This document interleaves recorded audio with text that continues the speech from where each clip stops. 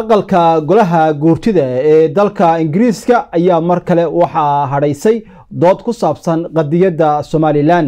halkaas oo qaar ka mid ah xildhibaanada aqalka odayaasha ingiriisku ay ka hadleen in ay muhiim tahay in dowladda ingiriisku ay hormuud ka noqoto in ay somalilan u aqoonsato dal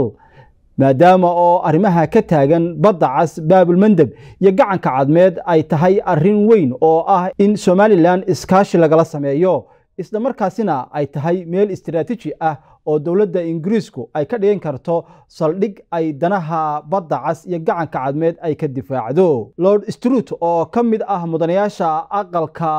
guurtida ee ingiriiska. Waxa uu hadal uu ka jeediyey fadhigii golahaasi uu ka sheegay in loo baahan yahay in xogayaha arrimaha dibadda ee ingiriiska david cameron uu noqdo mid hormuud ka noqda in qadiyadda somalilan ay noqoto dal madax bannaan islamarkaana arrintaasi laga shaqeeyo oo ay dowladda ingiriisku hormuud ka noqoto.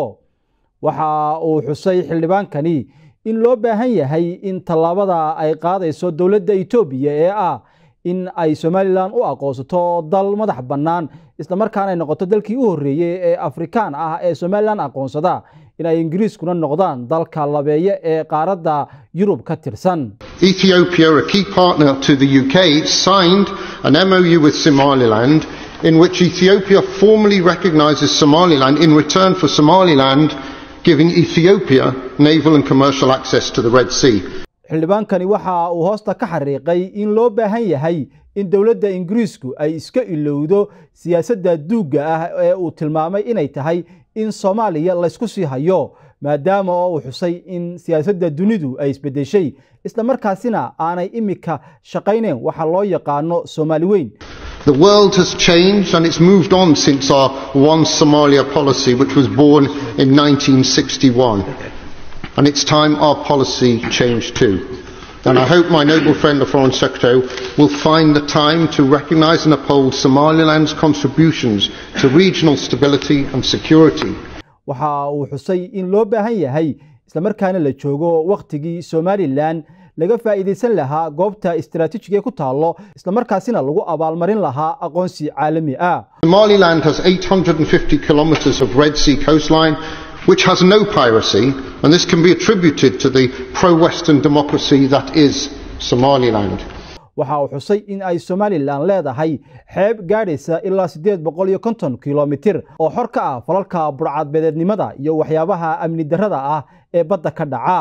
waxa uu xusay somalilan inay tahay dal dhinaca dimuqraadiyadda kudayasho mudan islamarkaana istaahila in waxyaabaha wanaagsan ee ay samaynayaan lagu abaalmariyo